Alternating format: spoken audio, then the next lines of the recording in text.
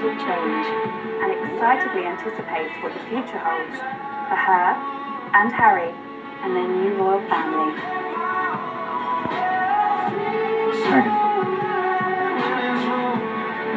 Meghan.